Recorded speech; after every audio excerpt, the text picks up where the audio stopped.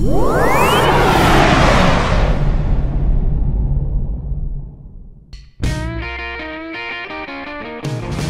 de Puebla, vean lo que me acabo de encontrar.